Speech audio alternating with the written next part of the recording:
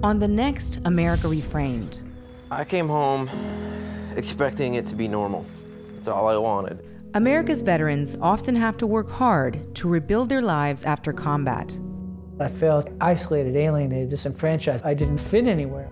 My head was burnt to the skull. I mean, I'd pray to God every night just to let me fall asleep and not wake up. The stories of four veterans, filmed over nearly 10 years, as they wrestle with the past and the future.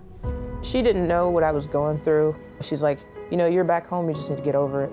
If I could, I, I would. You know, I made it back home, but what am I going to do with the rest of my life?